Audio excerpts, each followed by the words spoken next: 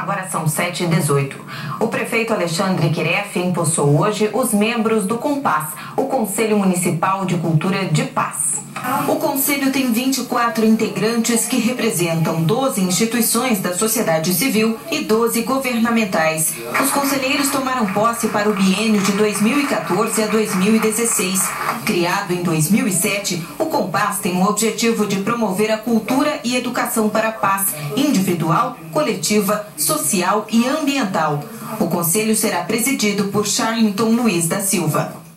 São eles, inclusive, que promovem aquele abraço no lago, etc. Exatamente. Trabalho muito bom, Patrícia, do Compass, porque eles atuam na origem do problema, não é? É o relacionamento entre as pessoas.